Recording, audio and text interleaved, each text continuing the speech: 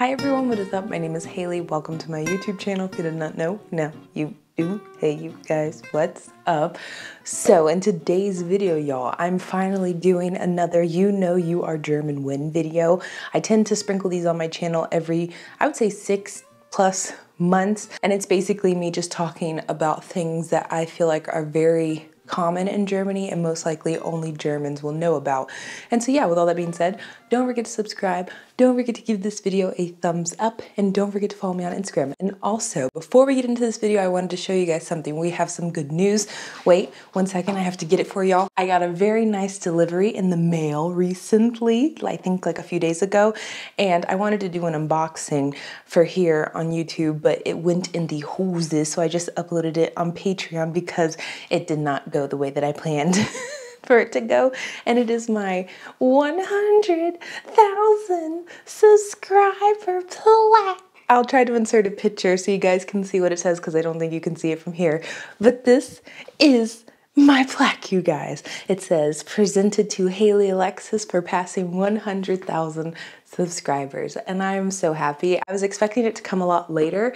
Um, it was supposed to come, they said in like six weeks and it came, I think in less than 14 days. And so it was a pleasant surprise. Uh, I don't know where to put it. I said I was gonna hang it in my bathroom, but I really think it looks nice back there for everyone to see. And so yeah, a lot of people were upset when I said thank you in my previous video for getting me to 100,000 subscribers. And they were like, you don't have your 100,000 play button yet. You shouldn't say congrats until you have your play button. Well, here it is. We, me, myself, and I have it. And yeah, thank you for supporting me on YouTube. I don't know what I wanted to say with this, but I just wanted to show you guys that it's here, it's real, it's not cardboard, you guys, it's not fake. I didn't create it, you know, and uh, I don't know, I bought it from Etsy. This is sent to me from the YouTube overlords. And so yeah, let me put it back. so the first point of you know you are German when is when you know this woman. Y'all, I think her name is Maria Mustermann. That's at least what I call her. She has been a constant Begleiter in my Germany journey. Her picture was readily available for everyone to see. There are a few people in the lineup that you might come across in Germany, but she I feel like is the most common. I don't know how long she's been here. I would say the past 10 to 15 years maybe, but she has been here since I've been in Germany, which is 2015 to now. So, seven years, this woman has been the face of passport photos in Germany. And so, if you're looking for like an example for a driver's license or an example of what type of passport photo to take for your visa, your residency card, you're most likely going to see this woman's face. I'm assuming she's a model, and I just find it very interesting that she is the face of German government photo documents.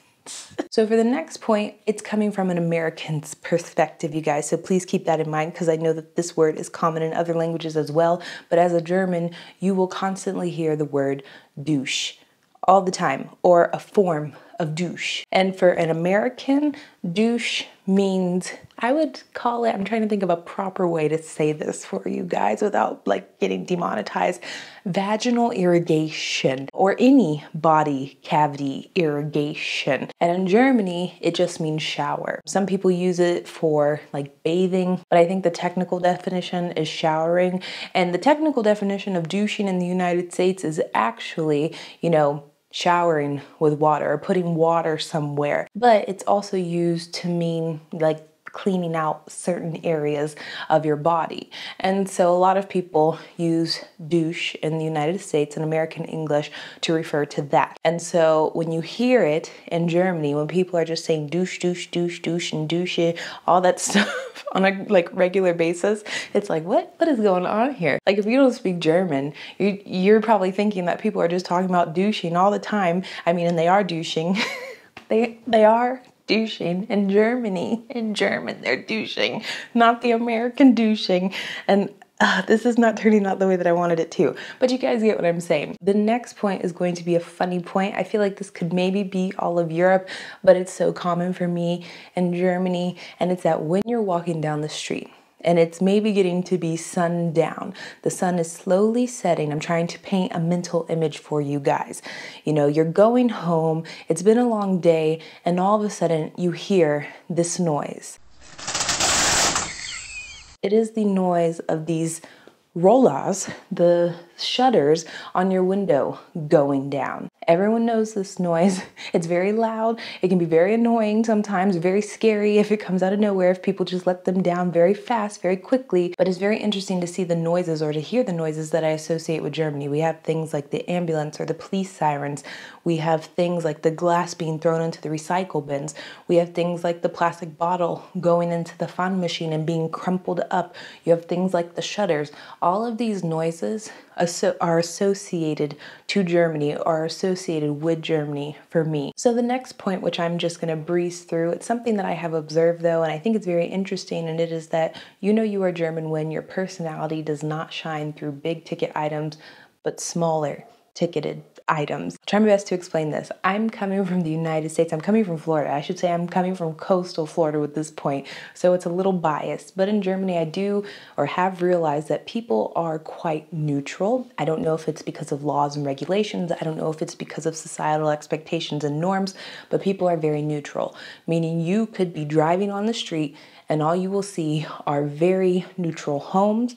You'll be seeing very neutral cars, black, white, silver, maybe throw in, I don't know, a red, a blue, but to where you're gonna have crazy stickers, crazy colors, crazy flags, crazy signs on all of these big ticket items is just not happening like it is in the United States. I have realized though that Germans like to let their personality shine in smaller items like home decor, personal accessories. I'm trying to think clothing is also a big way to show like who you are and what you like here.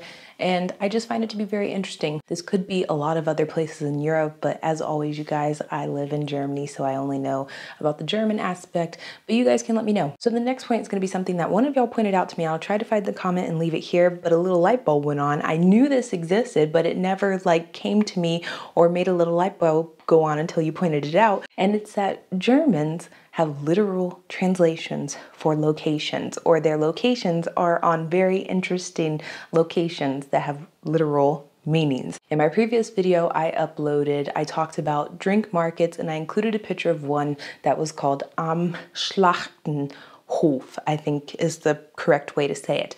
And this means on, by, or near, I don't know, at the slaughterhouse. To give you guys another example, where I used to live in Munich, my tram, it stopped. There was a literal stop on the tram that said Friedhof, which means the cemetery. You would literally get off the tram and right next to you was your grandma Dolores, rest her soul, God rest her soul, six feet under.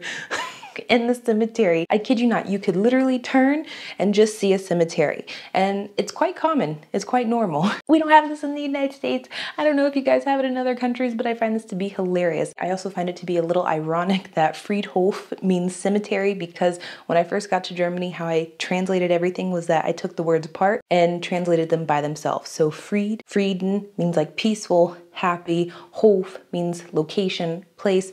Put those together, you have like a peaceful, happy place. Technically, a cemetery is that, but it's a cemetery. like, and I think of death, dying. So if there's a slaughterhouse, if there's a cemetery, Germans are not shy to say on the corner from the cemetery and their literal names or their literal streets, you guys. The last and final point is going to be you know you are German with, and I, I have a, a bone to pick with y'all because this is not correct. Wait, I'm trying to think if which one is correct because I, I know both and now I'm a little confused because I don't remember which one is English and which one is German. Hmm. Hermione, Hermione.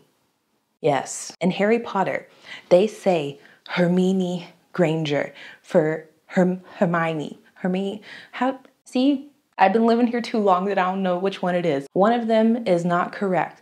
It is an English book, and in the English movie and in the English book, it is Hermione. I hope it's Hermione and not Hermione. Hermione. Hermione. Y'all can let me know how it's pronounced because apparently I don't know. But you know you are German woman when you say this woman's name, Hermione. Hermione. I don't know which way it is, you guys. It's one of those ways. But in Germany, y'all say it wrong. and I don't understand why. They like even spell it differently in German. That's the funniest thing is that the names of these people are totally different. I mean, they're not totally different. They just omitted an O and they just put H E R M I N E. And in English, it's H E R M O I N E, I believe. And I'm like, why? What was the purpose? Maybe because it's too difficult for Germans to say it or pronounce the English version because maybe it makes no sense in German. But I just find this to be hilarious and you guys can let me know if you've ever noticed this before, if it's ever, how do you say, come to your attention. If I've taught you something new, hey you guys, thank you for watching. That's why I make these videos. But yeah, hope this video caused you, provided you with some laughs. If not, can't help you. Can't help you there. I try my best, you guys. Other than that, um, thank you for watching, you guys. Those were all the points. I'm going now. Say bye to the 100,000 subscriber plaque. And with that being said, love y'all. Bye.